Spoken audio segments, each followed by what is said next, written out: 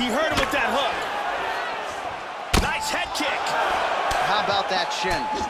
Oh, what a wild exchange. He's got him hurt here. And another big kick for Max Holloway. Going to the body there with the right kick. Oh, he lands another strike to the body. Really strong. Oh, he got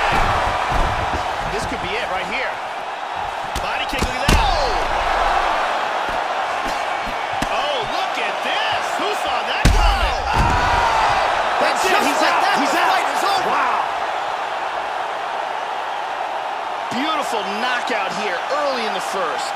Yeah, Joe, that was the perfect shot right there. We didn't even get a feeling out process here tonight, and we say it all the time. Sometimes when you catch a guy cold before he's had a chance to get going, the official decision is in.